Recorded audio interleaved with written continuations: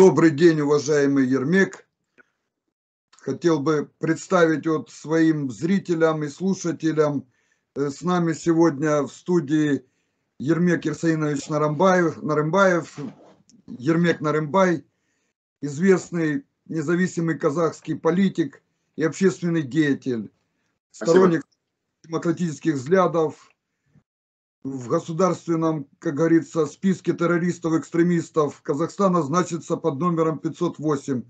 Человек, который получил около, не около, а 15, 15 приговоров, ну, сидел в тюрьме по четырем уголовным срокам, два побега, последний побег в Украину и сейчас находится в нашей независимой Украине. Человек, можно сказать, современный декабрист, ну, человек, который борется за свободу.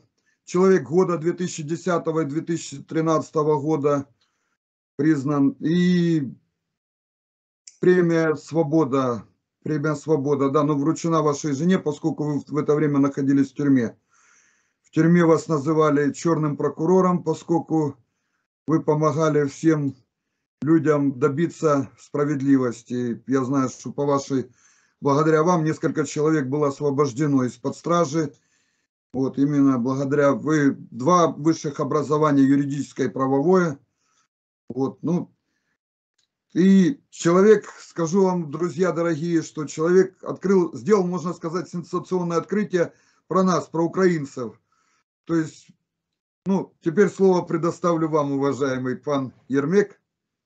Да, а, я сразу перейду к теме, которую а, вы затронули. У меня где-то месяц-полтора ушло на исследование, которое закончилось э, неожиданным открытием, сенсацией. А, я изучал по Украине а, ну, все 10 переписей, которые есть, 1897, 1926, 39, 59, 70-го, там, 79-го, 89-го и так далее. И нынешний, да. А, с обеих сторон, со стороны России и со стороны Украины. И меня а, интересовало в первую очередь украинцы в приграничной полосе. Именно вот семь регионов, которые являются а, областями Российской Федерации на границе с Украиной. Это Курская, Брянская, Белгородская, Воронежская, Ростовская области и два края, Краснодарский и Ставропольский края. Меня они очень заинтересовали. И когда я изучал все вот эти 10 переписей, я вдруг обнаруживаю, что возникает э, какой-то провал. Вот, знаете, две линии. Вот одна линия идет э, до 1939 года. И вот с 1939 года другая линия, она вот до сегодняшнего дня но между ними огромный разрыв. И я не мог понять, в связи с чем. Потом у меня была техническая проблема, а, видимо, поэтому украинские ученые не могли взяться за эту тему. А, вот. Но у меня то ли наглости, то ли упорства хватило, и я добил этот вопрос. Дело в том, что там была проблема такая. А, в 26 году и 39 году административно-территориальные единицы не совпадали друг с другом.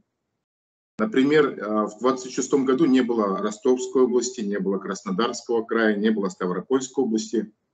А в 1939 году э, исчезает, по-моему, сейчас, э, не могу, сейчас точно не, смогу, не вспомню, Курская, что ли, она сливается с Орловской областью, и мне пришлось ее выскребать буквально по каждому району, сопоставлять все вот эти, во-первых, перечень районов, а потом нужно было еще выскребать по этим районам населения. И э, вдруг это всегда у ученых. Ученые, никак, ученые, они похожи на сыщиков, только вот в такой сфере.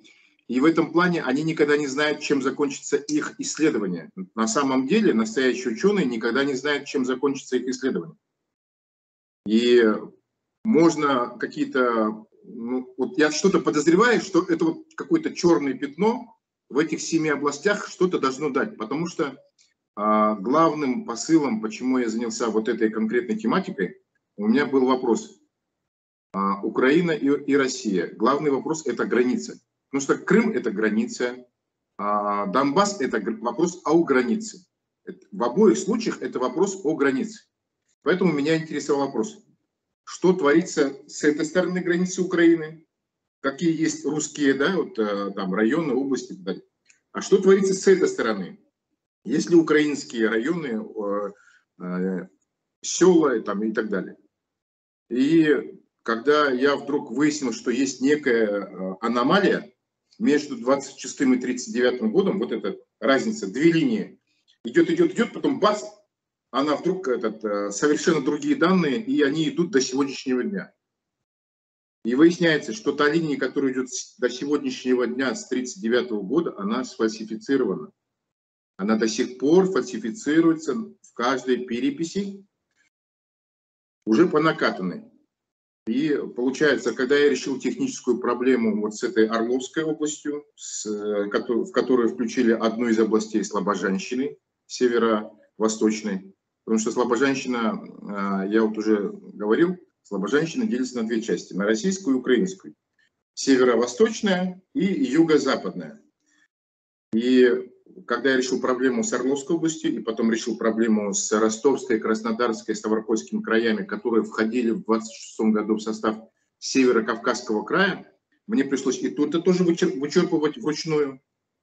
Ну и когда я все привел к одному знаменателю, а, вот эти два года, 26 и 39 года, вдруг у меня а, вычислилась конкретная цифра по украинцам и по русским, потому что я не стал здесь брать ни, а, ни корейцев, там, ни а, курдов и так далее. Меня интересовали именно вот две группы. И вдруг выясняется, что в 1939 году пропадает 4,5 миллиона украинцев. И эта цифра у меня высчитана прям до одного человека. Я опубликовал это, я вам тоже скидывал этот э, пост на Фейсбуке. К сожалению, в украинских СМИ эта э, информация проходит незамеченной. Очень жалко, что нет возможности у меня как-то выйти на широкие медиа ресурсы в Украине и в, и в России, потому что это касается и России, и Украины. Так вот, 4,5 миллиона украинцев исчезает внутри России только в семи регионах. Это, это без учета украинцев по Волжье, которых там тоже много. Без учета украинцев Сибири, которых тоже там огромное количество. На 26 год было. И огромное количество украинцев Дальнего Востока. Я стал просто, я локализовал до границы, чисто пограничная полоса. Я даже не стал брать и Крым временно. Но вот эти семь регионов а, меня просто поразили. Конечно же, а, в целом мы знаем по истории Древней Руси, что Украина как бы делится на две части, да, там Днепром, левобережную, правобережную Украину и так далее. И э, после того, как э, Крымс, крымское татарское ханство ослабело, когда а, Россия покорила, оккупировала, аннексировала Астраханское ханство, а, Казанское ханство. Вот эта территория левобере... правобережной Украины, она постепенно начала заполняться, вот появилась проблема слабоженщины. Пошла а, как бы колонизация с севера со стороны России и с юго-запада со стороны Украины. Это все было как бы занято. Но факт остается фактом. На 1926 год здесь э, было на 4,5 миллиона украинцев больше, чем в 1939 году. У меня возникает сразу же несколько гипотез. И что я предлагаю сделать как ученым Украины и России, так и простым зрителям, гражданам России и Украины, откуда что это все возникает. Первый вариант. А может быть, они все погибли, потому что был же голодомор 32-33 годов. Да.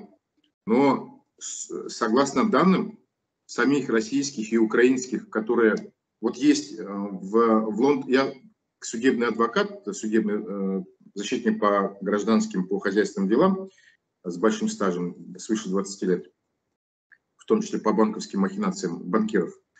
А, любой юрист э, может подтвердить мои слова, что когда судья разбирает в Лондоне, лондонский знаменитый суд, они э, делят всегда, вот когда приходят две стороны, они начинают ругаться, спорить, доказывать свое. Чтобы облегчить спор, этот метод применяется и в науке, в исследованиях. Судья, чтобы вот э, снять вот эти головные муки, вот этот бардак, лабиринт, он сразу же приходит к первым вещам. Первое. Вот вы спорите между собой. Ну, допустим, в данном случае Украина и Россия. В чем вы спорите? По каким пунктам? А в чем вы оба не спорите и оба признаете эти факты? Он делит на, яв, ну, на спорные и неспорные части. Так вот, э, в неспорной части и украинские ученые, и российские ученые сходятся с тем, что э, проблема Голодомора в Украине гораздо больше, чем в России. И в этом отношении, если Голодомор возникает э, в России, то, естественно, они стараются убежать, как это делали украинцы, в ту часть страны Советского Союза, где голода не было, где можно было покушать. Ну, исходя из этого и постановки вопроса, возникает тогда такой закономерный пункт. А зачем а, украинцам из приграничной областей России убегать в Украину, где голодомор еще более жестокий?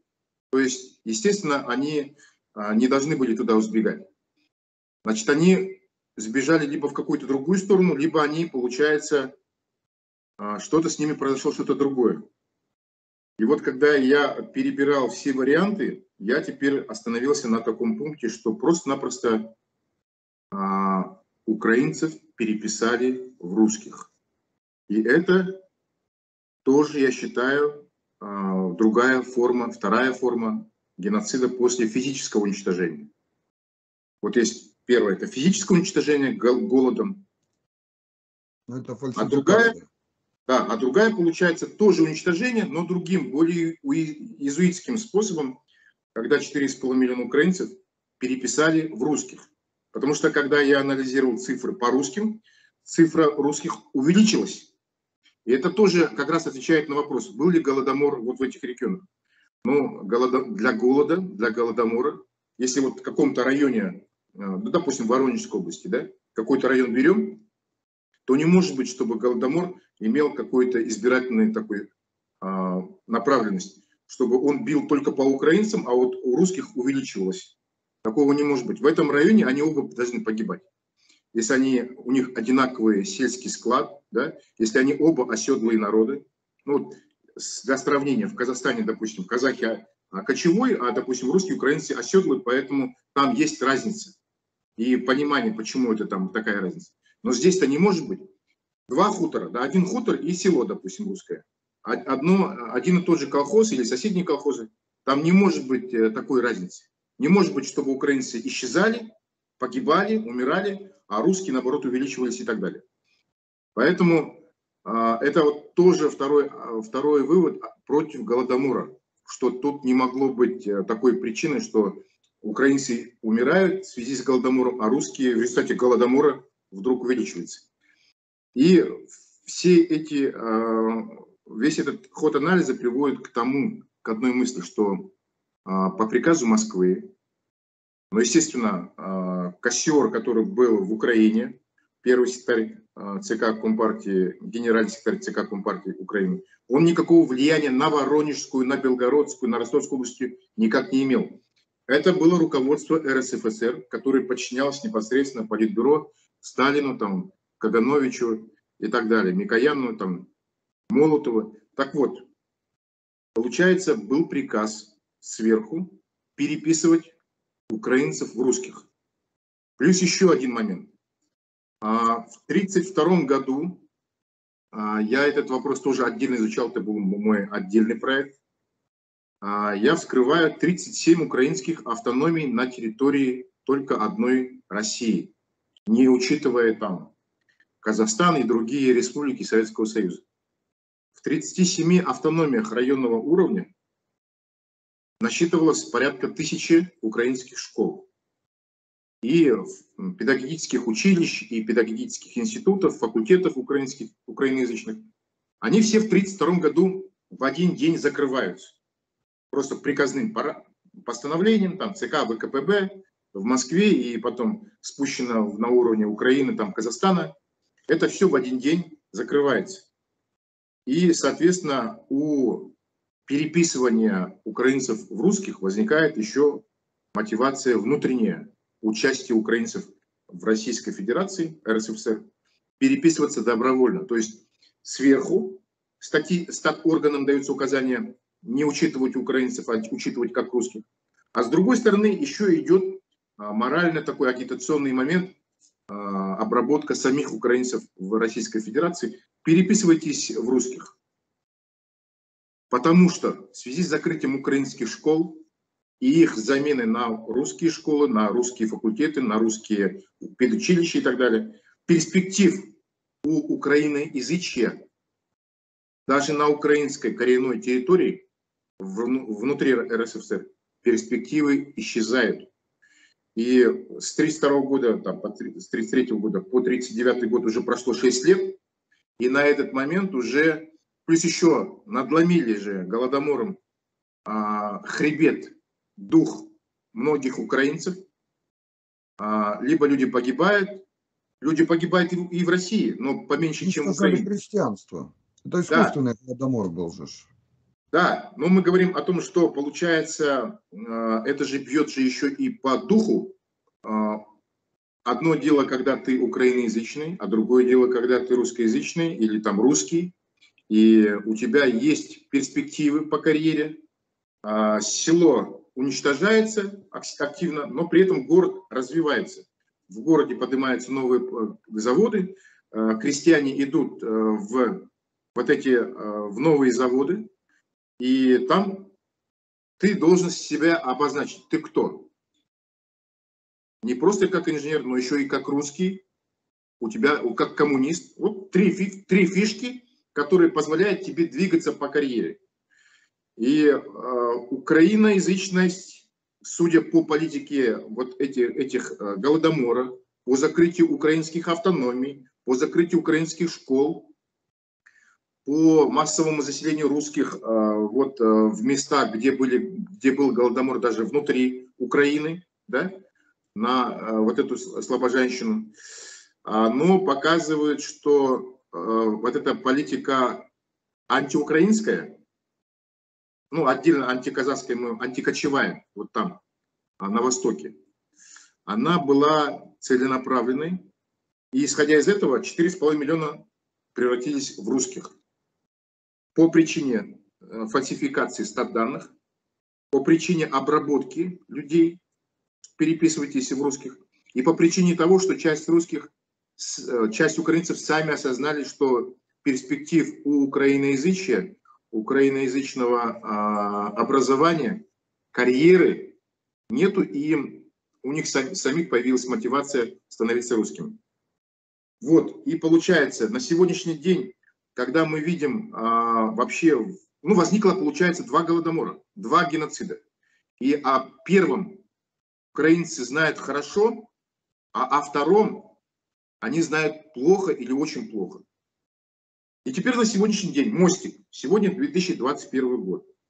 А, уже 6-7 лет идет война за Донбасс и оккупирован Крым.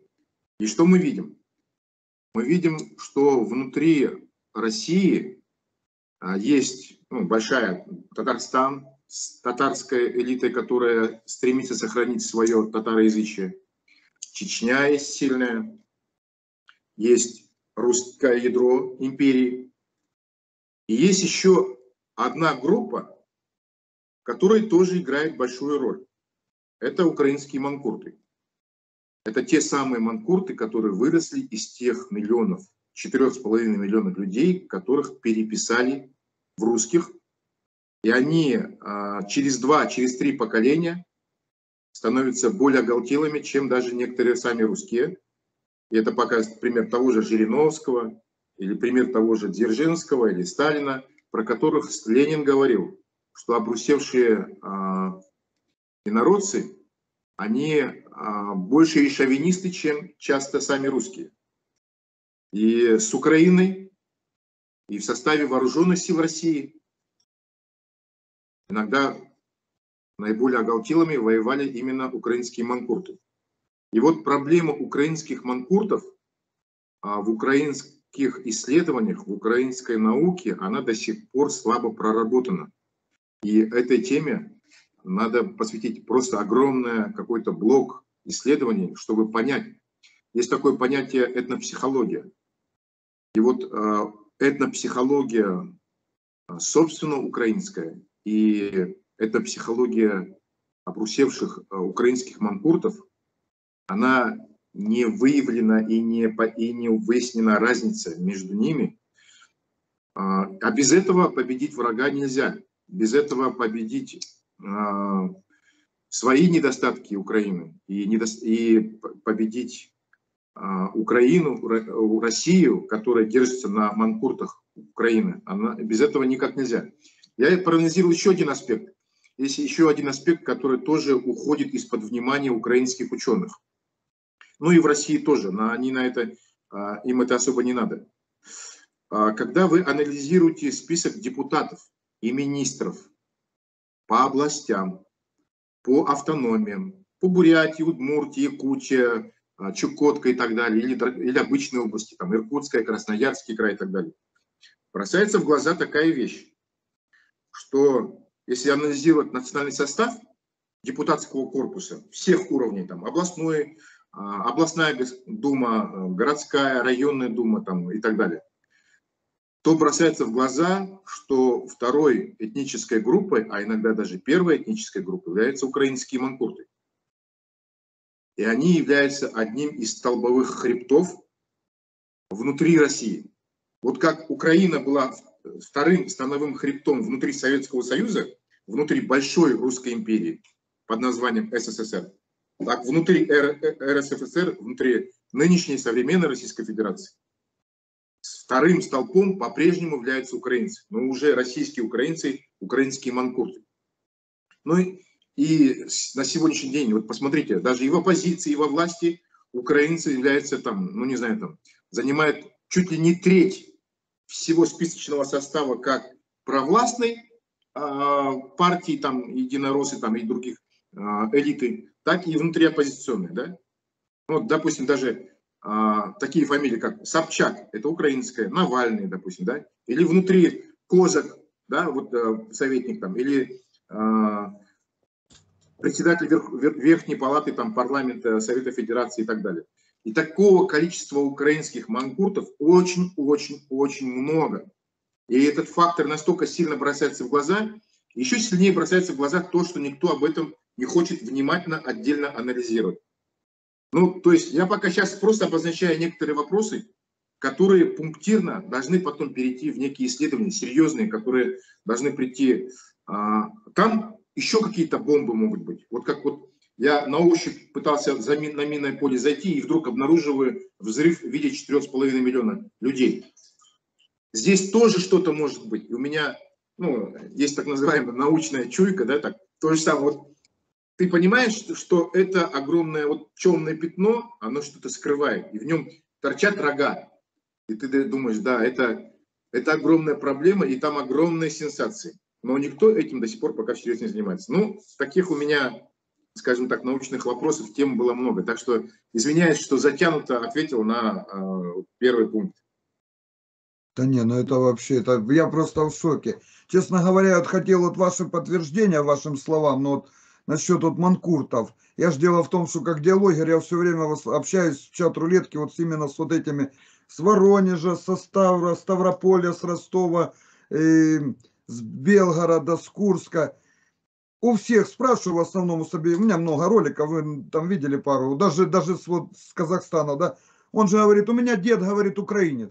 Дед украинец, бабушка украинка, а я русский. Я говорю, каким боком ты русский? Я русский и ненавижу вас, бендеровцев, ненавижу вас, Украину. То есть за что ты, я говорю, за что ты нас ненавидишь?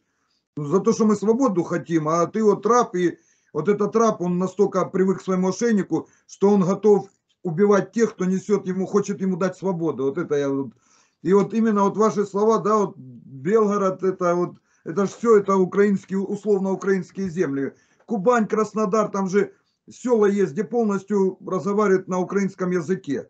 И вот я когда с ними общаюсь, он сидит, говорит, да, дед у меня украинец, но я русский, говорит. Я говорю, каким боком ты? Ну, ну просто вот, вот это меня поражало всегда и вот поражает, и вот ваши слова, да, я теперь начинаю понимать кое-что так. И вот э, я э, сейчас закончил еще один проект научный, связанный с анализом 1939 э, года. Дело в том, что я бы закончил бы и все остальные переписи, но до сих пор переписи все остальные открыты только на областном уровне, а на более глубоком уровне, на уровне района, открыта только одна перепись 1939 года, сталинская перепись. Она с искажениями, с некоторыми, особенно по, по Украине, по Казахстану, но других нету. То есть еще все архивы пока засекречены, и, а, но даже то, что открыто, пока исследовано пока только мною, вот э, на районном уровне. И вот э, интересные вещи получаются.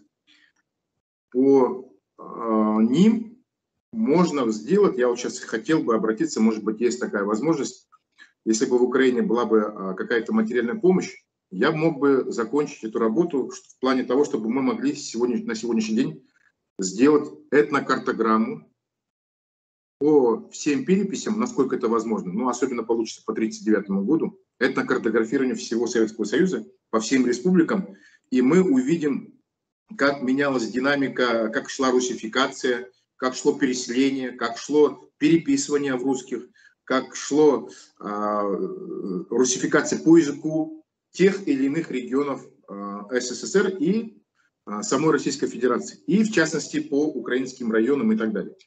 То есть этот фактор до сих ну это нужно было сделать еще 30 лет назад, да, но этого не сделано. Теперь по поводу а, вот украинской политики. Ведь я, это, я, я практически а, политолог. То есть я захожу в фундаментальные какие-то вещи, но все время с мыслью, как это можно реализовать в сегодняшней современной политике. И вот отсюда уже возникают некоторые вопросы к украинским властям. Но ну, представьте себе, 30 э, лет назад Украина получила независимость. А что она могла сделать? Ну, хотя бы вот так, так чтобы вот тот же самый украинские, э, проблемы украинских манкуртов, она бы смягчилась бы или была бы там нейтрализована. Если бы в, 30, э, в 1991 году и, и последующие года украинская власть, независимо от того, кто был личностью президентом страны, там Янукович, Кучма, там Кравчук, а, Зеленский или Порошенко, если у всех возникало бы к Москве один и тот же вопрос, хорошо, мы готовы какие-то вопросы по Черноморскому флоту там, или какие-то моменты сделать? А, по Крыму, но всегда в политике все решается через размен. Да? Вот есть украинские коренные территории, украинские районы, где живут родные украинцы, которые были бы, ну, первый вариант – это автономия украинская автономия или украинские автономные районы, либо это единая украинская автономия, или это украинская казачья автономия внутри РСФСР. И взамен него идти на какие-то а, вещи, э, которые России нужны. Если бы Россия, имея добрую волю, реально понимая, что у Украины особый статус. Вот, кстати, я э, сам к этим выводам недавно только пришел. Когда я начал изучать экономическую структуру Советского Союза, я начинаю приходить к выводу, что на самом деле Москва строила промышленное развитие Советского Союза, исходя из двух республик, по большому счету. Украина и Россия.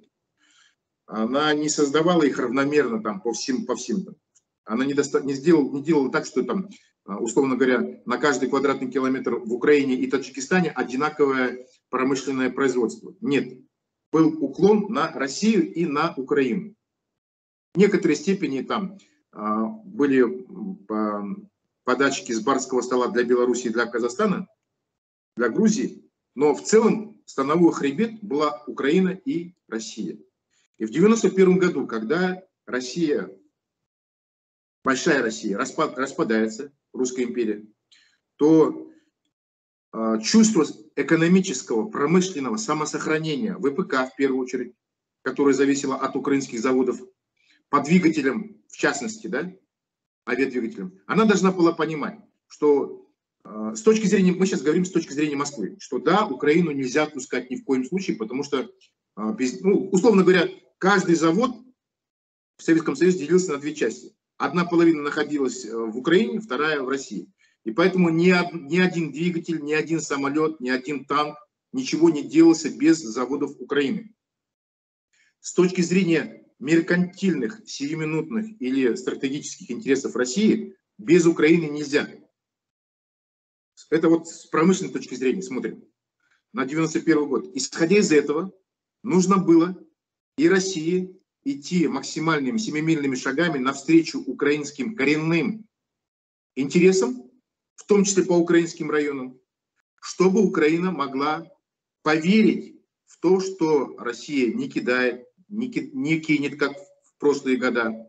Она будет э, уважать и ценить, и очень высоко относиться ко всем украинским национальным интересам, в том числе к украинским районам. Если бы вопрос с этими украинскими районами в той или иной степени на первом этапе автономия, а потом передача, размен, то можно было бы, э, условно говоря, развернуть украинского жениха э, навстречу российской невесте. Ну, Россия приняла решение сделать все силком, насилием, обманом, хищрениями. Ну, короче, одним словом, да, она имела шанс все решить полюбовно. И Украина бы э, знать не знала бы все про эти сегодняшние проблемы. И это э, вина и ошибка самой России. Она как больший партнер, она имеет как раз э, преимущество в инициативе, в повестке дня.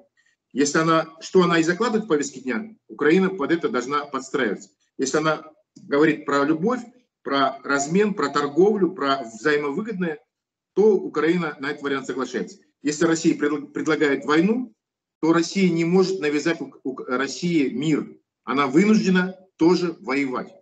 И вот получается, весь этот сырбор можно было предотвратить России и все эти вопросы порешать. Или Украина могла бы точно, точно так же сказать, вы так сильно ко мне навязываетесь, вы так сильно хотите снова, чтобы я вернулась а, под брачные узы, ну тогда у меня вот такой вариант.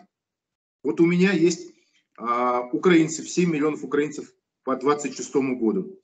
Вот эти районы.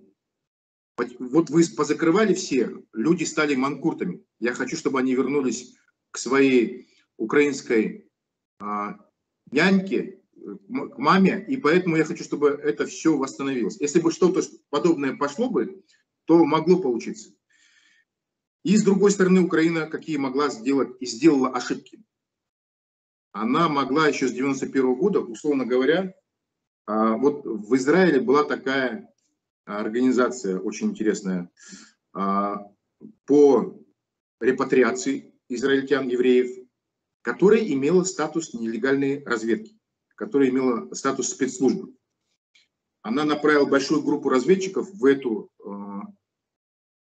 службу, и эти ребята работали в Советском Союзе по обработке, по разговору, по контактам с каждым евреем.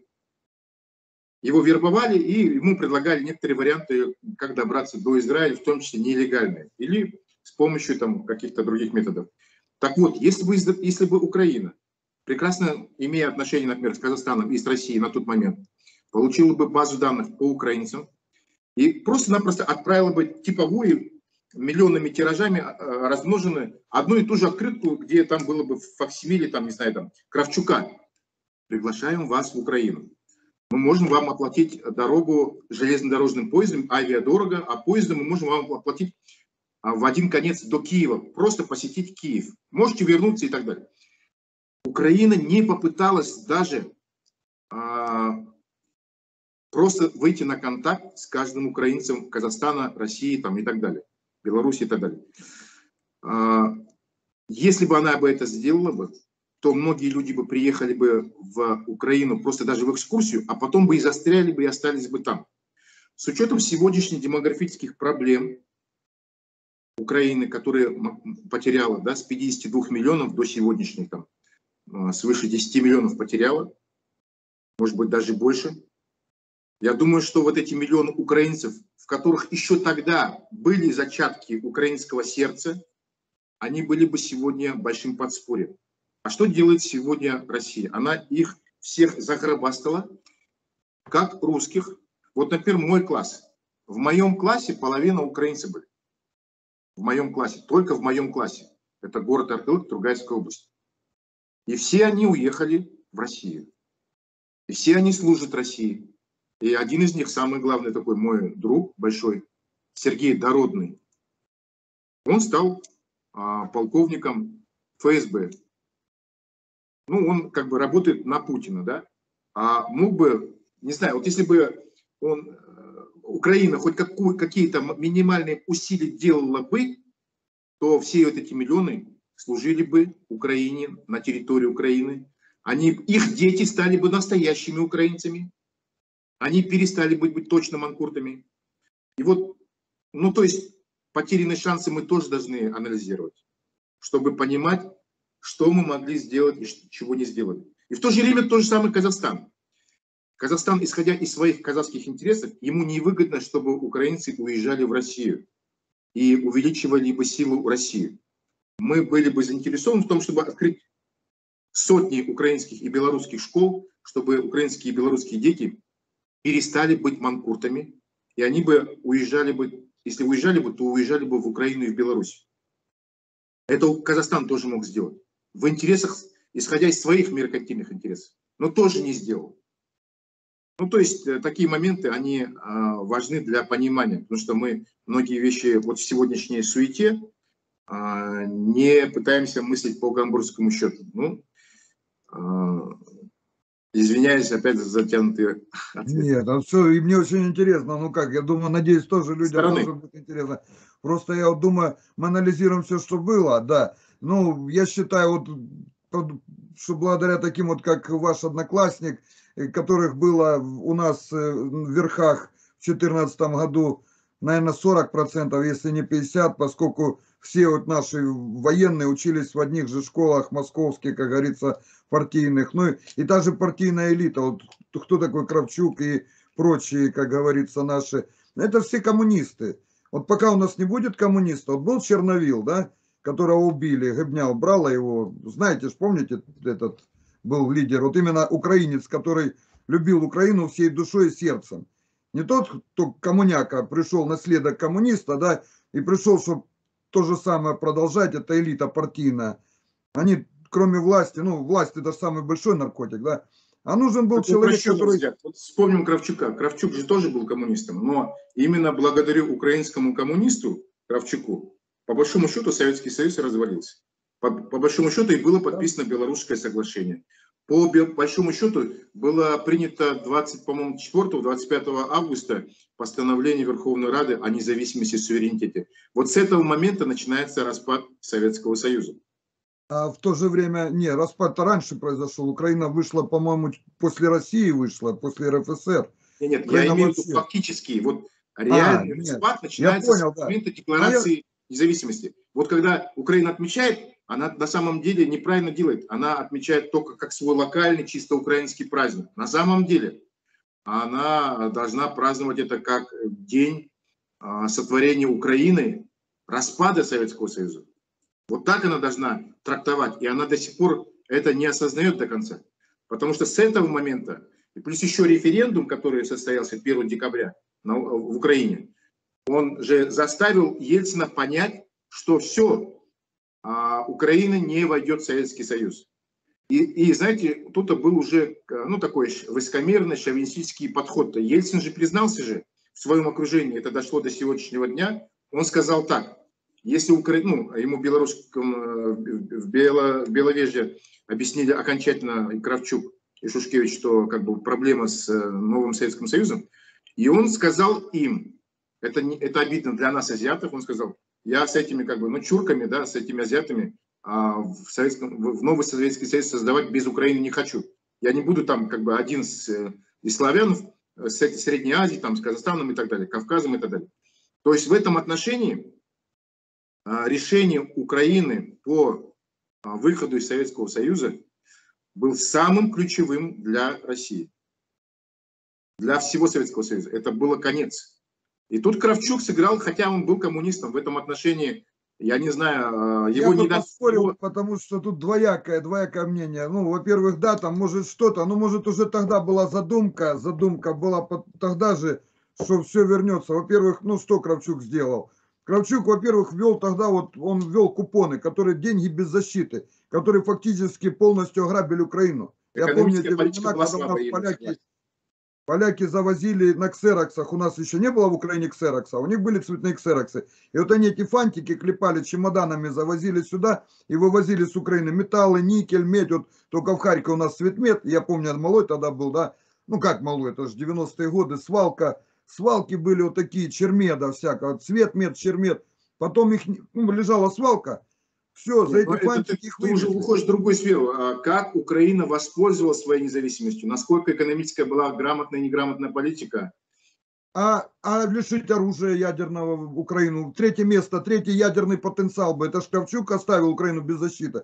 И уже тогда он мог договориться, что просто уже Украина никуда не денется. Вот всегда, сейчас, сейчас россияне, благодаря тому же Кравчуку, нас считают, нас считают как бы беззащитными. Вот. Единственное, что у нас Да. союзник В этом плане и все лоханулись. И Белоруссия, и Украина, и Казахстан лоханулись.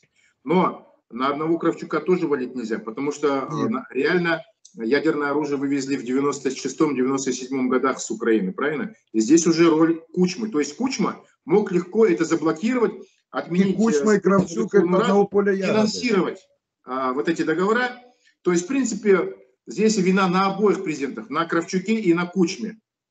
Да, я с вами полностью Пан. Ермек, пан Ермек, я же говорю, я, я же не, не делаю различия. Вот эти Кучма, Кравчук, это коммунисты, это, это одна когорта. Они могли вот это в 91-м составить все это, но они знали, что в будущем все это придет, и мы не сможем ничего сделать. Люди не смогут добиться независимости полной. Вот сейчас мы... И тот же Кравчук, опять же, я вам скажу, есть факты. Вот у нас под Полтавой огромное месторождение газа. Вот сейчас ребята исследуют. Одна скважина, там одно месторождение, записано на жену Кравчука подпольно. То есть все они продолжают также грабить Украину. А нам кричат, вот у нас под Харьковом огромное месторождение газа. Круглый год, это люди знают. Я 10 лет назад занимался этой темой. Было, были данные, что газа хватит на 250 лет на всю Украину. Куда этот газ идет? Скважины принадлежат Авакову. Кернис стал благодаря скважинам миллиардером долларов за год правления, можно сказать. Вот.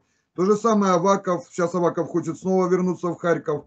Сейчас тут борьба пойдет такая еще, это я вам так говорю образно. Я И согласен вот, э, с вами. Но мы да. сейчас, э, значит, по поводу экономики я с вами согласен. Здесь полностью было а, ну, разбазаривание в этом отношении. Еще один момент очень важный, который Украина должна помнить. Вот когда Россия поняла, что а, Украина уходит из-под рук, а, 1 декабря, некоторые события произошли очень интересные в декабре 91 года. 1 декабря референдум, 8 декабря Беловежское соглашение. Да? А, Три страны СНГ, да, да, да. По-моему, 19 числа Алматинск, в Алмате все собираются уже как расширенное Беловежское соглашение, в расширенном таком, уже все присоединяются к нему. Так вот, все, Россия понимает, что исчезает, и она по Черноморскому флоту принимает очень важное решение. А, Самая крупная корабль Черноморского флота, который непонятно, что будет с ним из-за дележки с Украиной, Россия крадет. Она выводит крупнейший э, корабль якобы на учение в Средиземном море, и оттуда уже на Балтийский, Балтийский флот и происходит кража. И вот в этом отношении полноценного такого анализа нету. Потом то же самое по поводу Крыма. Вот по Крыму же на самом деле было три вторжения. Да? Первое вторжение это было при Кучме, когда Кучма развернул свой самолет с Бразилии на обратно. Второе вторжение было при Ющенко, и об этом почему-то ну, слабо говорят. А, при, ну, он тоже вроде как отреагировал, когда российский э, морской десант высаживается в районе Феодосии, вы- высаживается в юго-восточной части Крыма, там песчаный берег, там был полигон, но он был предназначен по условиям договора только для того, той части морского десанта, который дислоцировался постоянно в Севастополе. То есть только он имел право. А когда, условно говоря, с Краснодарского края, да, с Новороссийска а, приземляется новое соединение морской пехоты, а, это фактически было вторжение, и которое Ющенко тоже попытался как-то протестовать и так далее. То есть в этом отношении Украина уже видела первое вторжение, второе вторжение, и она уже должна была понимать, что ей нужно готовиться к этому. И в этом отношении ну, практически самая крупнейшая ошибка Украины. Мы почему это делаем? Потому что мы должны э, задним числом анализировать ошибки, чтобы понимать, что, как и, и так далее. Так вот, одна из крупнейших ошибок украинских э, властей, украинского министерства обороны и так далее, силовых структур, была в том, что все контрактники и офицеры были уроженцы Крыма, и в этом отношении практически ну, произошла сумасшедшая глупость, когда, ну, которая вылилась в то, что они предали интересы Украины и решили остаться со своими квартирами, с новыми зарплатами, которые были у России выше и так далее. То есть в этом отношении это была и ошибка и Кучмы, и Ющенко, и так далее. То есть вот и Порошенко, который, и Турчинов, который является тоже на 4 месяца был президентом, и тоже ничего не сделал. И на самом деле когда мы говорим Крым и Донбасс, почему-то Украина не хочет смотреть на ответственность Турчинова, который мог предотвратить и Крым, и Донбасс, но не несет ответственности никакой, у него даже уголовного дела нету, он не является подозреваемым, не, является обвиняемым, не вызывается в суды. То есть в этом отношении, а, пока не произведет судебной оценки всех вот этих действий, ну, трудно будет говорить что-либо историкам, исследователям, трудно будет какие-то вещи делать на вперед и так далее. И очень много ошибок, конечно, у моего родного Казахстана. Я э, могу откровенно сказать, что когда в 2000 году я пришел в администрацию президента, Казахстанский институт стратегических исследований при, при, Совете Безопасности, при, при, при Назарбаеве, я многие вещи предлагал, и у меня сама работа докладная записка была вот такая, двухтомная, как, знаешь, как кандидатская диссертация. Она называлась так грозно «Теневые аспекты э, нейтрализации русского сепаратизма в Казахстане». И я был, э, скажем так, э, у основания маленького сектора, я не знаю, что было потом, по русскому миру. Это было за 14 лет до нападения России на Украину. То есть я предполагал, что это должно случиться в первую очередь по отношению к Казахстану. И на самом деле вот в 2016 году, ой, в 2010 году, когда я как раз был в тюрьме, я был в оппозиции, и меня посадили на 4 года и 4 месяца, а, в день рождения Назарбаева, 6 июля 2010 года, происходит переподчинение 41-й а, общевойсковой армии из Восточного округа на Центральный военный округ, который имеет границу только с Казахстаном, то есть на казахское направление, со штабом в Новосибирске и нацелены на Астану.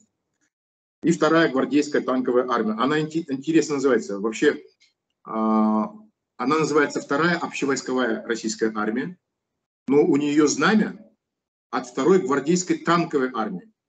То есть на самом деле у ее структура и ее нацеленность а, э, Оренбургская на, тоже на Астану, через Кустанай, но у нее нацеленность именно как танковая. И в ее структуре открывается новенькая со склада, а, разупаковали и создали с нуля 90-ю гвардейскую танковую дивизию наступательного характера. На сегодняшний день а, в России две дивизии танковые.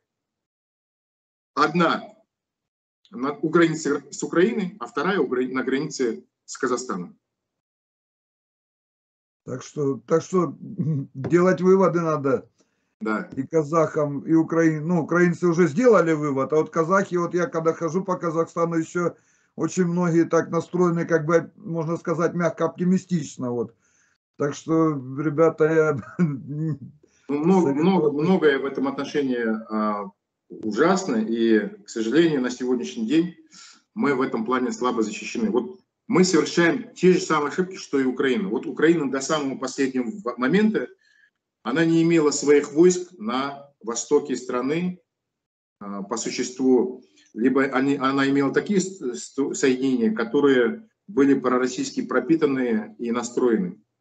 А у нас в этом отношении нет войск в Уральске, Кустанае, Павлодаре, Петропавловске, Кокшетау. Есть советские старые дивизии в Семипалатинске и Усть-Каменогорске, и это хоть как-то спасает. То есть на Востоке у нас а, есть войска, и более-менее ситуация там будет под контролем. Но вот север Казахстана у нас большая проблема. И я все время говорю, ну хотя бы туда разместите роты. Из рот можно потом развернуть батальоны, из батальонов полки, из полков бригады, дивизии и так далее. А против них на российской, границе, на российской стороне находятся армии, целые армии. 41-я армия, 2-я гвардейская танковая армия. На западе находится а, половина 8-й гвардейской танковой армии, которая нацелена на Украину, а хвостом находится на, на а, границе с Казахстаном. 58-я армия, 49-я армия находится. То есть в этом отношении мы ведем себя очень легкомысленно. Венгрия, 56 год захватывается э, Венгрия за счет того, что вся венгерская армия находится на границе с Австрией, там, с Германией, на западном направлении. А восточная половина Венгрии пустая, голая, голая задница, извиняюсь за выражение. Чехословакия, 1978 год. Вся Чехословакия, чехословацкая армия оголила зад и находится только на западе. 81-80 год Польши. Россия, Москва не рискнула напасть на Польшу, потому что президент страны, Войцех Ярузельский, генерал, который прошел войну, знает, что такое. И он размещает на, а, на Востоке целых 8 ударных польских дивизий, которые готовы встретить русских десантников. И все, Москва, Брежнев, Устинов докладывают, что вариант Чехословакии и Венгрии с Польшей не прокатит. И отказывается. То есть армия нужна не для того, чтобы воевать. Армия нужна для того, чтобы предотвратить войну. И если армии нету на стратегических направлениях, то это провоцирует нападение. Это спровоцировало нападение на, на Крым и на Донбасс. И я не хочу, чтобы это спровоцировало нападение на Казахстан.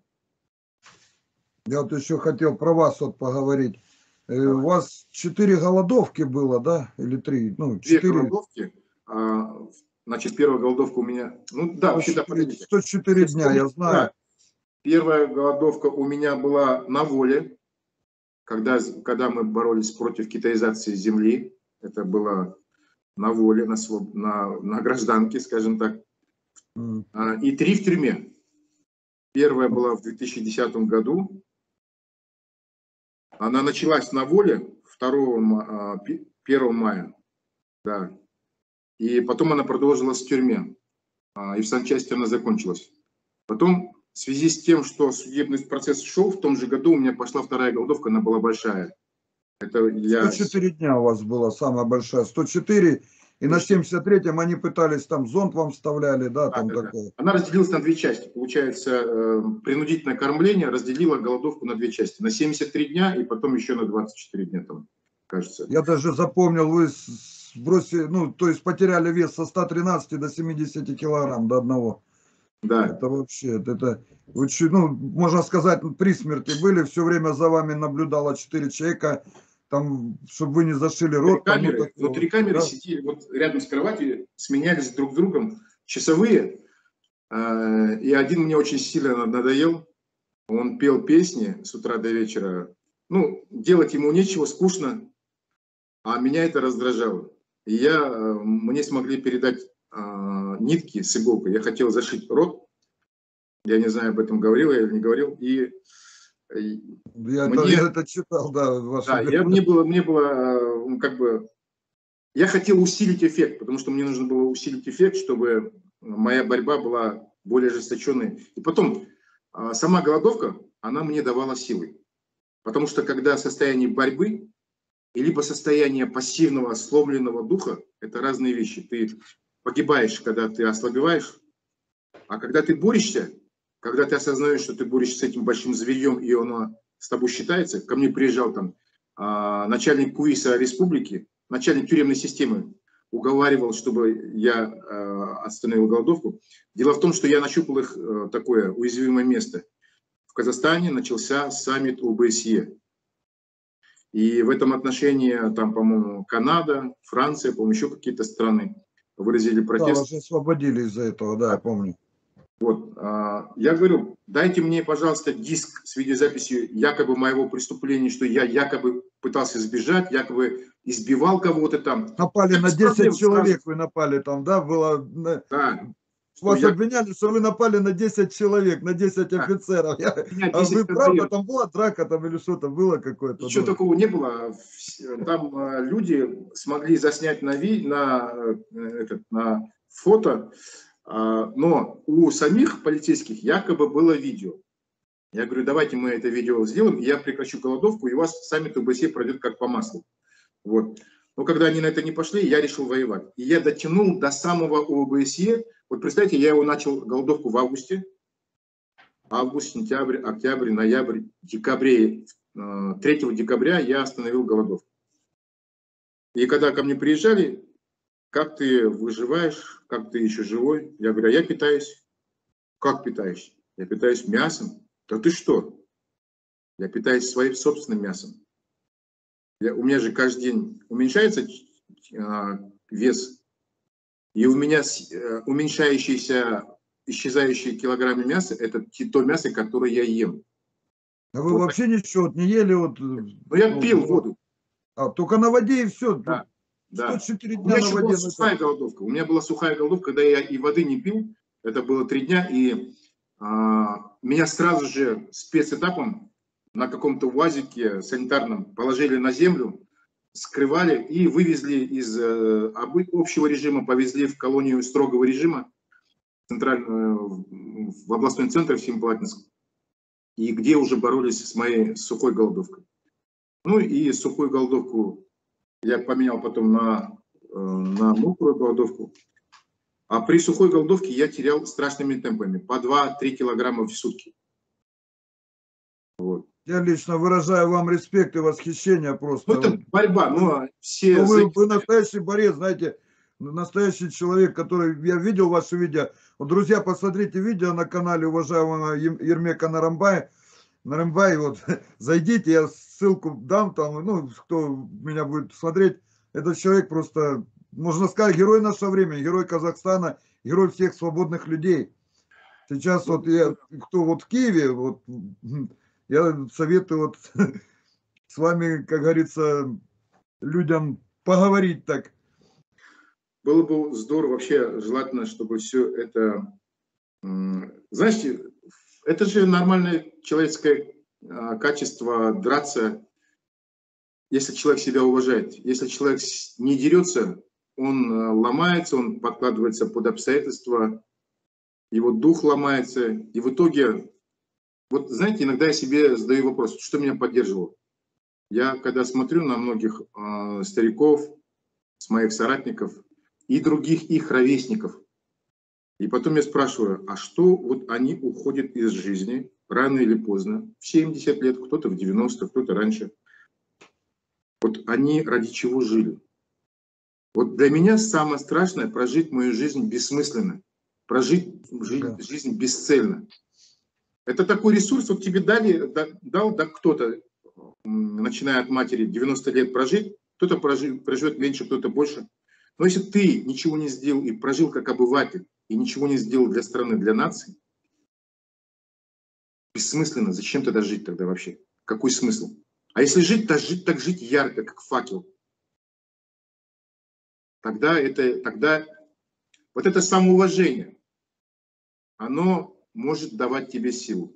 Если ты не уважаешь себя, то это подрывает твой смысл жизни, и ты теряешься в этой жизни. Тебя носит как какой-то а, соринку на каком-то океане, ты не представляешь собой ничего, и ты никто, и все, для тебя это мрак.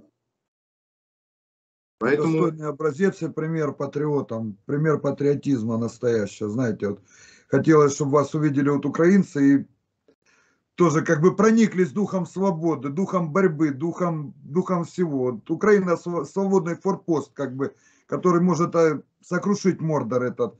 Потому что сколько я общаюсь с россиянами, насколько они сейчас ниже стоят украинцы, они вот реально терпил. А что мы можем изменить? А что от нас зависит? Это люди, которые лишили выбора. У них нет выбора, все. У нас хоть какой есть выбор. У нас мы можем менять. Вот тот же Зеленский там худо-бедно, но мы можем другого поставить. Все будет меняться. Все будет развиваться. Это рано или поздно. Оно не сразу, не, не быстрыми темпами, быстро ничего, только кошки родятся. А вот. А в России, это в России каждый говорит, хотим царя, хотим царя. Я поражаюсь, в третьем тысячелетии ты хочешь царя. Что такое царь? Это рабство. Это ты родился рабом, и ты будешь всю жизнь целовать пятки царю там или кому там, или там его опричнику. Я просто, ну знаешь, вот есть двоякое, двоякое тоже, да, вот, э, мне очень жалко, да, и очень обидно за э, там многих борцов, активистов, которые внутри Чечни, там, э, Бурятии, Татарстана, Башкирии, там, э, Якутии борются, да, и мне очень жалко, потому что их жизнь обречена на тюрьмы. Да? Ну, в принципе, это сильно не отличается от Казахстана, где я то же самое а, что-то пытался вякать в промежутках между тюрьмами. Ну вот так вы внутри... добились, вы добились, извините, я перебью, вы же добились это э, отмены, там миллион земли хотел в аренду дать Китаю Назарбаев, да? Вы же, вы же добились, что он не дал это. Это же ваша заслуга. Назарбаев К... Да, Назарбаев К... Кэт, ваш лозунг, да? Назарбаев У вас похожее слово геть. Геть – это кет. Геть, да. А да, вы это... придумал Назарбаев Кэт, это у вас партия Арман или как называлась ваша партия? Да, она была признана экстремистской. Вот когда я был в тюрьме, ее признали экстремистской. И э, это очень обидно, что внутри Российской Федерации вот эти угнетенные народы, они пока находятся в таком положении. А в Казахстане, хоть по крайней мере, каза... над казахами никого нету. Они могут бороться против тирании власти. Да? Мы в этом отношении примерно в таком же положении, как русские в России, которые борются за демократию, но у казахов нет автономии и нет а, угнетенных народов. Мы, мы единый а, коренной народ. А внутри России русские, получается, по неволе угнетают бурятов, якутов э, и так далее. Вот такая проблема есть. И Украине повезло. И просто плохо, что, как вы говорите, там в области экономики Кравчук, там Кучма, Ющенко, они многие вещи не доработали, и а, была очень гиперинфляция большая, распродажа, раздача имущества и так далее. Не воспользоваться... Ющенко нет, Ющенко нет. Ющенко, считаю, Ющенко а. это новый уровень, это настоящий украинец. А вот это Кучма и Кравчук, партийная элита. Янукович это, это чисто, это вор, который компромат был огромный в Кремле, который полностью марионетка Кремля. Я с тобой поспорю в том плане, что да, Ющенко, может быть, в области экономики он был, а, он ее стабилизировал а, по сравнению там, с, с гиперинфляцией Кравчука, но в области военной, в области безопасности Ющенко очень многие вещи упустил и не сделал, которые мог сделать, который, который бы не смог бы даже Янукович преодолеть и сломать. Ну, допустим, начиная с того, что в украинской армии а, к моменту срока президентства Ющенко огромное количество украинских офицеров не знал украинский язык, были пророссийски настроены. То есть замены такой массовой, мощной украинизации в армии не произошло, и поэтому в Крыму многие украинские офицеры стали предателями, перешли на сторону российской армии. То есть это, я считаю, заслуга в кавычках Ющенко. И я, кстати, хочу тебе показать один маленький ну, подарок э, для зрителей. Я сейчас попробую на секунду отойти.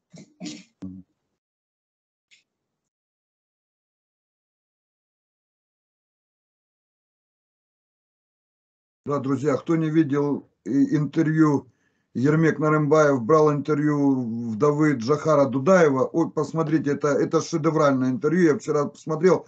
Я два раза пересматриваю. Это просто насколько мужественная женщина. Это великая женщина великого человека. Вот люди. А шикарно, да, я удивился.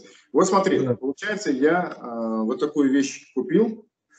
Это mm-hmm. необычная карта, это карта Крыма, но она сделана в форме, видишь, mm-hmm. в форме вот э, вот так вот таких вот такого рельефа и ну да рельефная форма да, да то есть в принципе мне эти вещи очень интересны и всегда Военные какие-то аспекты легче анализировать, когда ты понимаешь, э, в какой географии мы располагаемся. Э, ну, вообще, в принципе, я, вот знаете, э, публиковал даже, и хочу потом передать, может быть, это будет опубликовано и украинскими блогерами, сценарий, что мог, мог сделать тогда Турчинов по часам и по дням. а, с учетом всей открытой информации, которая уже на сегодняшний день известна. В этом отношении огромная просто ответственность лежит на Турчинове, который просто все похерил и сдал Крым. В этом отношении он должен был все это сделать. Помните известный случай, когда была опубликована стенограмма Совета Безопасности, а, где там была а, Тимошенко, где там была начальник разведки, министр обороны, там Аваков был и так далее. И вот практически а, ну, возможно, это была утечка Турчинова, который пытался переложить ответственность себя на этих людей, которые, мол, а, большинством голосов отказались сопротивляться и драться за Крым. И вот в этом отношении а, Конституция и все остальные законы говорят, что даже если бы все были бы против, он главная фигура, которая может все решить один указом президента и так далее. Тот же самый перешеек в Крыму, там два перешейка с материка на Крым, которые могли бы занять там, грубо говоря, вот тебе ВДВ, возьми роту, батальон сколько хочешь, это твой перешейк, ты должен его перехватить. Вот тебе спецназ ГРУ и морская пехота, делайте свою сводную роту, батальон, но обеспечьте второй перешейк. И потом потихоньку уже взять Армянск, взять северные районы, северную половину Крыма и так далее. Если бы хотя бы один район был бы под контролем Украины, то юридически референдум в Крыму уже был бы незаконный. Так он и так незаконный. Он и так незаконный. Он имеется в виду э, в том плане, что даже в глазах России, внутри российского общества, он был бы уже нелегитимный. То есть в этом отношении Северный Крым никак не был обеспечен российскими войсками. То есть украинские войска могли спокойно, вплоть до Симферополя, полностью взять безболезненно, легко и просто. Особенно с учетом а, группировки, которая была внутри Крыма, там 25-30 тысяч человек. Раньше, в советское время, это был а, мотострелковый корпус. Вот практически Украина даже не воспользовалась этими всеми огромными возможностями. И Турчинов практически преступник, с моей точки зрения. Ну, уважаемый Ермек, я тоже так думал раньше, но потом я поразмыслил, и я подумал, это долгая игра, многоходовочка как бы. И Крым это тот, тот, как говорится, ящик Пандоры, который, как говорится, развалит империю. Ну, я так думаю, что это такая, такая как бы пешка, которую поддали, вот, а Россия ее хапанула. И вот она еще не знает, что она хапанула. Вот. Ну, только, только выиграем ли мы вот от этого, поскольку мы находимся, Украина находится рядом с этим монстром, агония монстра может затронуть людей и очень это. А так-то я думаю, что Крым еще покажет себя. Уже посмотрите, ну, экономика, ну как, мы же хотим, чтобы империя зла последняя развалилась. Вот, мне кажется, Крым ее развалит. Его, его не просто так отдали. Я ну, не думаю, что его так просто взяли там и предали, там тот же Турчинов. Ну, тут, мне кажется, многоходочка. Но это сугубо мое личное мнение, знаете, это, знаете, у каждого свое. Да, да, да. Ну, еще я хотел бы сказать вам выразить большое спасибо за то, что вы делаете. Вы проводите большие такие диалоги э, со многими россиянами, которые заблуждаются. Вы вскрываете, да, вот, условно говоря, гнойники, все вот эти, э, всех вот этих предателей, этих э, шовинистов, высоко, высокомерных людей, которые не считаются с, с другими народами, с другими странами, которые считают всех ниже себя – и вот э, меня, знаете, поразила какая вещь. Вот недавно э, я смотрел российские э, репортажи, большие фильмы блогеров, которые ездили в города, которые погибли внутри Российской Федерации, такие как Воркута. И там одна женщина, россиянка, она потеряла детей там, или сестру, там, ой, братьев на войне в Чечне там, или в Сирии, или где-то на Донбассе. Сама она находится вот в таком городе, который погиб полностью. Ни света, ничего нету. Все, все погибло в Аханале. И при этом она благодарит Путина и э, желает ему здоровья. То есть э, с ума сойти, она теряет родственников из-за Путина, она теряет свой мир, свой двор, свой город, свою улицу из-за Путина и благодарит. Вот эта арабская психология, она, ну, с ума сойти можно. Я потом, когда смотрю по статистике, когда только за время Путина а, с карты России исчезло несколько тысяч городов, а многие города потеряли статус городов, перешли в статус села и так далее. Когда там э, несколько десятков тысяч предприятий исчезло, ну, я не знаю, как они вообще, что они хотят поднимать, когда а, какие-то амбиции, какие-то всемирного масштаба там. При этом на сегодняшний день они потеряли огромное количество промышленности и так далее. И вот э, Нулан же приехал же с, э, из России обратно, вот недавно визит был, двух-трехдневный, где практически России поставили перед фактом, что мы не считаем вас а, второй державой, вы уже региональная держава, мировая держава – это США и Китай. И мы с вами хотим говорить только в контексте там, взаимоотношений с Китаем. Все, вы для нас никто. То есть практически на сегодняшний день Россия больше понтуется, чем имеет реальный экономический и, соответственно, военно-экономический какой-то потенциал и так далее. Она все сдулась. И ее экономические реформы, они провалились в этом отношении. А, конечно, может быть, объективные трудности в том плане, что она без Украины реально не могла никогда уже подняться, без других 14 республик, и она ничего с этим не может сделать. Но на сегодняшний день мы являемся свидетелями вот этой агонии, опасной агонии, когда она бросается на Украину, на Прибалтику, там, на Грузию, на Казахстан. И кто-то может прав, когда говорит, что это фантомные боли, когда она, когда ногу отрезали ей, а она чувствует, что нога болит. И вот он, у нее вот такие вещи происходят, что она якобы еще мировая держава, и вот она, у нее такая риторика и такие а, поганые действия. Я надеюсь, что это скоро все закончится, и а, я очень жалею, что Украина сильно пострадала, и для Казахстана какой-то есть шанс учиться на чужих ошибках. Дай Бог, чтобы мы в этом отношении все-таки выправились. Но на сегодняшний день все для Казахстана тоже очень плохо. Мы заключаем невыгодные контракты. У нас э, Путин хочет продавить и почти продавливает проект по атомной электростанции российской, продавливает э, строительство электронной цифровой платформы на базе российских а, программ через Сбербанк и так далее. Очень многие моменты, которые мы проигрываем, и мы не делаем э, выводов из чужих ошибок, из ошибок Украины. У нас Украина по неволе нам дала шанс отодвинула войну от Казахстана, перетянула через Майдан на себя. Негатив перешел от России к Украине. И с повестки дня, дня до сегодняшнего дня нападение было отодвинуто. Но на сколько время? Когда это будет? Будет ли это? И, может быть, Казахстан а, путем вот таких капитуляций, которые мы видим по атомной электростанции, по другим может быть, он пытается отторговаться, от, э, э, отодвинуть какие-то моменты более сильные. Я не знаю, но в итоге пока все очень плохо. И в Украине не очень хорошо, потому что неизвестно, когда будет возвращен Донбасс, и когда будет возвращен Крым, и когда распадется Русская империя, когда освободятся 135 народов. Вот пока все это все под вопросом.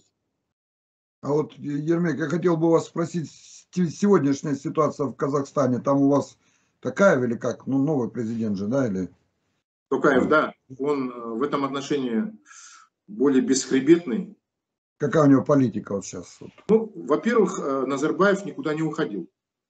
Начнем с этого. продолжается. Назарбаев это... находится в тени. Я просто еще, еще за 10 лет до отставки Назарбаева писал пост газет, газет, бумажной газете, открыто, внутри страны находясь, не боясь ничего, писал о том, что именно вот такой сценарий возможен по варианту Ма, а, Мао Цзэдуна и Дэн Сяопина. Мао Цзэдун после а, своей смерти, даже при своей жизни, оставил а, преемника, которого потом съела а, знаменитая китайская четверка.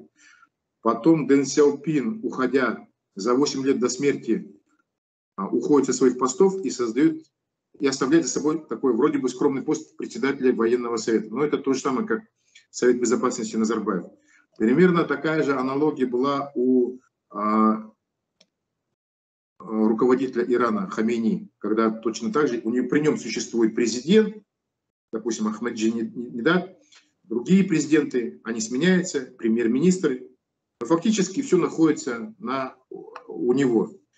И вот а, примерно по этому же пути сейчас пошел Назарбаев. Другое дело, что он отдал пост президента, оставляя за собой 60%, 70% власти, но в силу физической уже ухода от дел, ухода на тот мир, постепенного по медицинским, биологическим моментам, он по проценту, по одному проценту, условно говоря, каждый месяц передает Тукаеву, вольно или невольно. А Тукаев проявляет себя как слабохарактерный политик, который выступает под любым нажимом Китая и России. У нас же проблема двойная. У Украины одна Россия, а у Казахстана две России. Ну и да, у вас Россия, и Китай, с юга давит Китай, да. С востока и с севера. Так что в этом отношении у нас есть свои возможности, но мы ими не пользуемся. Мы не пытаемся многие вещи сделать. А вот самое главное, это должна быть установка на свои силы, как делал это Израиль и делает Израиль.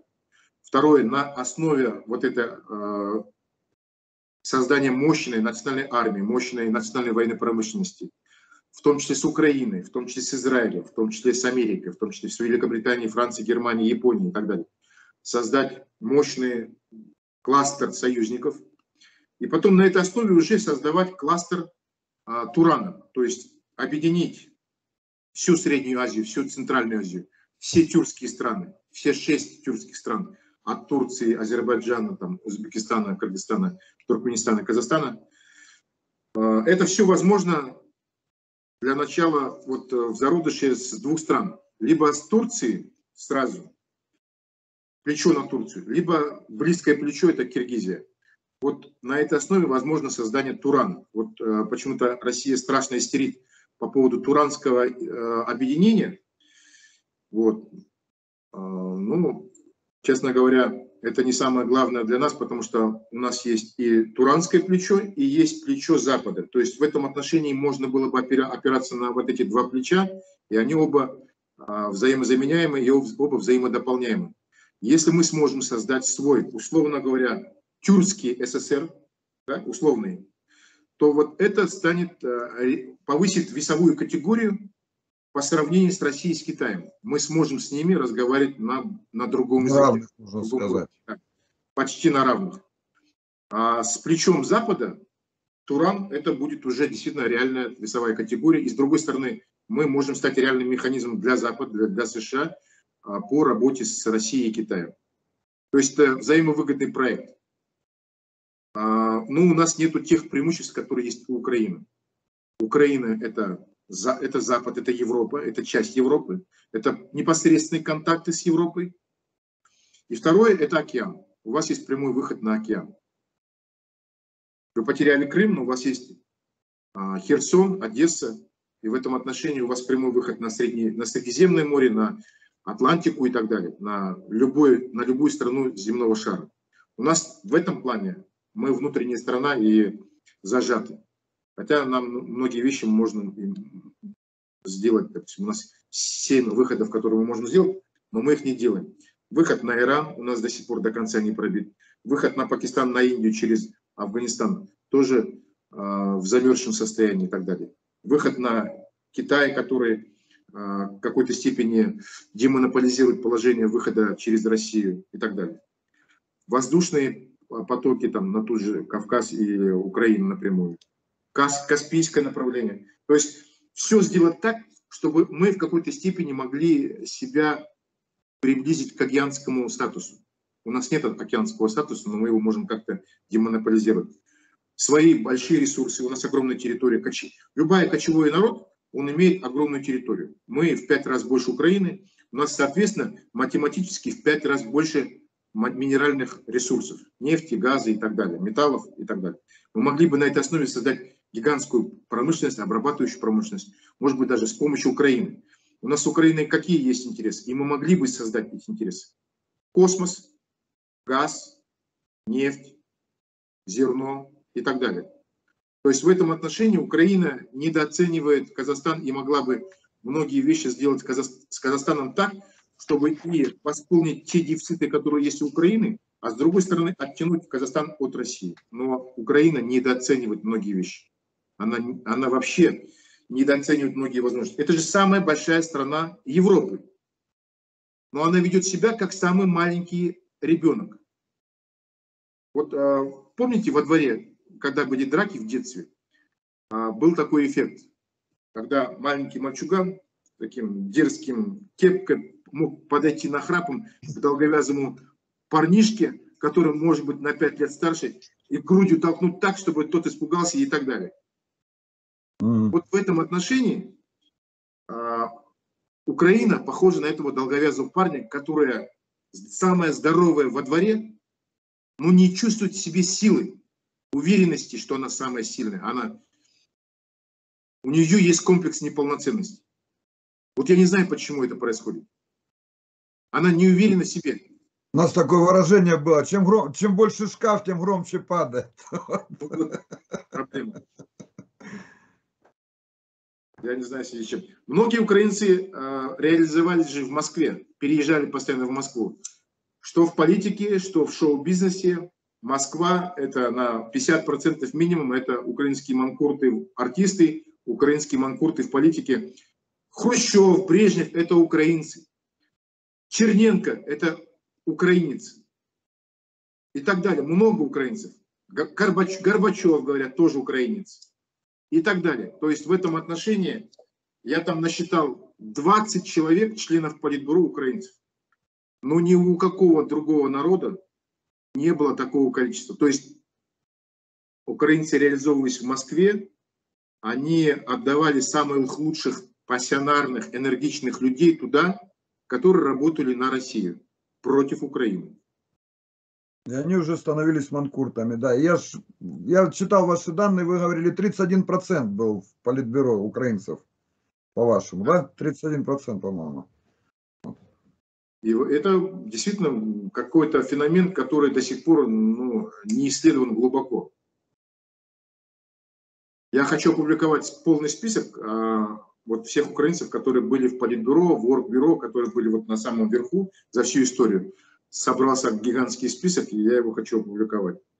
Чтобы это тоже такой неприятный, но очень важный момент э, в истории и осмыслении истории для Украины. Она должна понимать, в чем корень ее слабости. Один из корней – это украинские манкурты, которые борются против Украины с помощью ресурсов России, управляя ресурсами России. Матвиенко, Козаки и так далее, это а, люди, которые а, лучше во многом понимают Украину и украинцев, чем а, русские, и поэтому они более эффективны против Украины, чем простые там какие-то русские министры или аналитики и так далее. Они в этом отношении лучше понимают украинцев и знают, куда и как бить. Да. Даже не знаю, что, даже не знаю, что тут, что, -то, что ж делать тогда-то?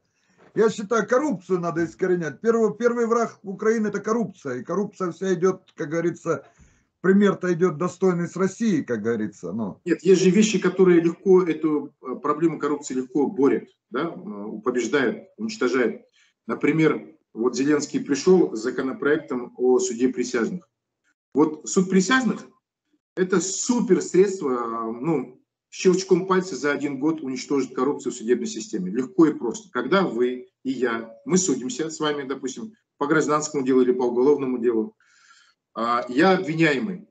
И я знаю, что, ну, даже если я был бы Порошенко, как там бывший политик, которого там хотят уничтожить из политических соображений, либо я простой уголовник, которому занозил какой-то прокурор или там чей-то отец, бизнесмен-олигарх, я знаю, что если я хочу честный суд, я спокойно выбираю из 500 украинцев 12 украинцев, которые я знаю, что они могут, а, не будут зависеть от властей, а вы прокурор, вы тоже из 500 а, украинцев отбраковываете тех людей, которые явно настроены за меня. И в итоге 12 человек, они устраивают и вас как прокурора, и меня как обвиняемого в каком-то убийстве или мошенничестве или в краже.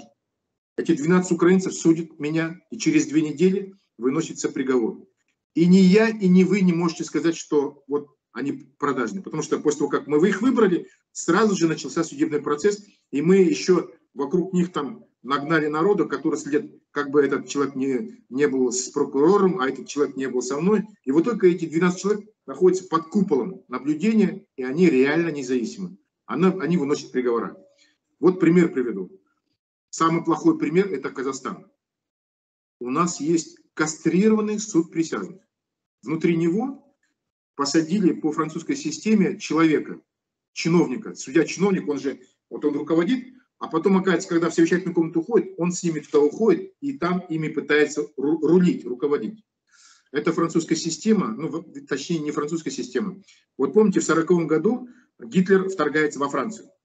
Северную Францию он забирает полностью, а Южную Францию он оставляет э, э, коллаборационистскому правительству Виши. Так вот, Гитлер навязывает Франции новый суд присяжных. У них был нормальный суд присяжных, как во Франции, как в Великобритании. Но он говорит, пусть это будет зависимый суд присяжных. С виду суд присяжных, а внутри него французский чиновник-судья будет. И вот эту отвратительную французскую гитлеровскую систему Назарбаев принимает и пытается контролировать, а для Запада говорит, вот видите, у нас присяжных. Так вот, даже в таком кастрированном виде с 2007 года число оправданий благодаря этим судам присяжных увеличилось в 20 раз. В 20 раз. Но что делает Назарбаев? Он этим судам присяжных отдает меньше 1% уголовных дел. Mm, вот оно что, административные в основном, да, решаются? Нет, он, особо тяжкие дела, особо тяжкие преступления, и то внутри него отсекает 80%, оставляет только те, по которым смертная казнь. Mm. И то, только те, опять же, по которым сам обвиняемый допишет заявление, что я хочу такой суд присяжных. Если он не пишет, то даже какая бы смертная казнь ни была, все, будет рассматривать судья-чиновник. Но в любом случае они вот по своей категории увеличили в 20, у них число оправданий по сравнению с обычными в 20 раз больше, чаще. То есть, в принципе, если в Украине наконец будет суд присяжных, то с коррупцией, с претензиями украинцев к судебной системе вообще исчезнут. В Великобритании суду присяжных 855 лет. Древнейшая система. Насколько мы отстаем, насколько мы да, отстаем. 850 лет. Но ну, а Америка ушла, Америка ушла вообще дальше. Она по сравнению с Великобританией распространила на суд присяжных все гражданские дела. Вот в Америке же часто проигрываются судебные дела, оружейные компании проигрывают, фармацевтические, химические, а, табачные компании, они проигрывают. Это гиганты, миллиардеры проигрывают обычному какому-то трем-четырем американцам э, нищебродам. Потому что эти нищеброды имеют суд присяжных, они приходят и они разговаривают наравне с миллиардером, и миллиардеры проигрывают. И ну, поэтому... Такое у нас должно быть, да. Да, и поэтому э, суд присяжных это антиолигархический суд. И если а, но пока, а, кроме США, никто не рискует распространить на суд присяжных, суд присяжных на гражданские дела. Максимум на уголовные дела. Вот американцы сделали просто блеск. Когда они получили независимость, они сразу же забили. Вот они даже когда писали декларацию независимости от британской колонии, они пишут почему. И они пишут, потому что Британия захотела забрать у нас право на суд присяжных. Еще до войны с Великобританией. А потом в Конституция появилась, и в Конституцию они вбили вот такие моменты. Все уголовные дела и все гражданские дела находятся под судом присяжных. Никакая страна мира до сих пор, даже там Франция, Германия, там какая Израиль, никакая страна мира еще не рискнула гражданские дела отдать суду присяжных. Вот если Украина скажет, мы будем круче, чем Украина, чем э, Америка, и мы суду присяжных отдаем все уголовные и все гражданские дела, моментально появятся инвесторы, инвестиции, потому что инвесторам хочется защищенность в судах. И а у украинцев появится защита. Это плюс Зеленскому, это судебная система, потому что у нас судьи самая коррумпированная, вот, да, реально судьи. Но что-то ему помешало. Он пришел, он отдал в парламент этот закон, и этот э, законопроект два года не обсуждается даже. То есть он замер. Не обсуждается, да, но это минус я хотел еще, Да, да, но это мы возьмем на заметку. А вот я хотел э, про вас сказать, ваше благородство какое-то. Жанна Бота, да, или как ее? Жанара Бота, ну, можно сказать, ваш как бы враг, да, она тоже приехала сюда, там обвиняла вас в чем-то, ну, короче, вы ругались с ней, ну, то есть, как она вас, ну, что-то, а потом, когда пришли ее забирать, она не кому-то обратилась, а именно к вам, к врагу, как бы, и вы единственный, кто ей помогли, и как бы не отдали, вы пришли там с, с друзьями, защищали ее от, от, ее хотели ж похитить, вы ее ребенка защищали там, да, это вообще, вот, ну, это знаю, ей, ей не, не, этот, э, не, не ограничивало от того, что когда она вышла из тюрьмы, она тут же начала снова хаять меня. А она уже, она уже в Казахстане или нет? Нет, она в Украине сейчас. Она сейчас а. вышла замуж за украинца, это дополнительное основание, чтобы ее не отдавать. Это тоже форма защиты. Ну дай бог, чтобы была еще любовь. Но главное, что это не помешало ей снова обливать меня грязью. Снова опять? Да. После проблем. того, что вы для нее сделали. Да, вот я помню, когда ее вез из тюрьмы, вот буквально прошел час, как она вышла из тюрьмы. Вот мы везем, везем из тюрьмы домой. А, и она говорит мне, вот я там прочитала газетные статьи, почему они тебя хвалят? что ты меня спас. Почему они пишут о тебе больше, чем обо мне? Ну, то есть вот все вот эти гнилые разговоры, это, конечно я же... Понял. Я, я в шоке, честно говоря. Я, шоке, я что прочел, что вы сказали, я ее отдам в Казахстан только когда там будет система присяжных, да, ну, да, настоящая, да, это ваши, ваши слова, да. да. Сейчас как, да, это я в шоке, конечно. Ну, не, ну, ну вам вот респект. Ну, просто ты, вы помогли именно человеку, который это, а вы сделали все, чтобы, ну, Просто благородный человек вы. Просто я считаю, что в жизни э, самое главное качество для человека, которое я ценю в, своей, вот в своих людях, с кем я общаюсь, это благодарность. Если человек, вот если я что-то получил от человека, я об этом постоянно буду говорить. Как вот, допустим, есть человек, с которым я испортил отношения, но я все время подчеркиваю, этот человек мне помог вот в таком-то случае, в таком-то случае. Я ему до гроб жизни буду за это благодарить. Я буду его критиковать, но за эти вещи я всегда буду за него молиться. И я скажу такую вещь. А, помните, была такая хорошая, ну, она до сих пор традиция такая, я ее, я, я хочу, чтобы она была всегда со мной по жизни. Когда я вышел из тюрьмы, а, я собрался, ну, собрались друзья, и я попросил, чтобы каждый из этих друзей прошел со мной в ванную на 10 минут. И они не знали, о чем и для чего. И я их заводил в ванны, снимал с них носки, окунал э, их ноги в, в тазик и мыл их ноги с мылом, каждый палец ноги. И я демонстрировал им месседж, что я им очень благодарен. Это я подсмотрел, когда каждый год э, Папа Римский э, моет ноги а, кому-то там из бродяг, из бездомных. И мне это понравился месседж. Я это сделал. Они были все мои друзья в шоке. Я им сказал об этом никому никогда не публиковать и так далее. Но с тех пор прошло уже сколько лет? Э, ну, 5, 7 лет прошло уже практически, 6 лет. Э, я об этом сегодня говорю. То есть, в принципе, для меня, я хочу быть благодарным, и люди должны знать, что я благодарен человек. И это очень важное качество. Это, я не знаю, в принципе, может быть, я идиот, но в этом плане а, я хотел это подчеркнуть им. Я не знаю, это, наверное, высшая, высшая степень благодарности, наверное. Это, ну, как по-другому сказать. Вот. Ну, это красиво, мне понравилось. А, а друзья что говорят? Друзья были просто... Это друзья, которые вам помогали, вот, сторонники, которые, соратники. Которые поддерживали меня, пока я был в тюрьме, которые вот создали такую команду, которая боролась за меня. Они участвовали в этом, они просто дрались. Они не, они не имели шансов, они не, не, не было никакой гарантии, что я выйду из тюрьмы и так далее. Вот. И я на 36-й день голодовки, когда вышел на свободу, а, тут сыграл, конечно, еще внешнеполитический аспект. Назарбаев а, выехал в Брюссель, и э, это было 36-й день голодовки. И в тот же день поступил приказ судье, прокурору там быстренько меня освободить. Адвокат мой даже не знал, что якобы был суд по а, рассмотрению моего вопроса о там а, выхода из тюрьмы.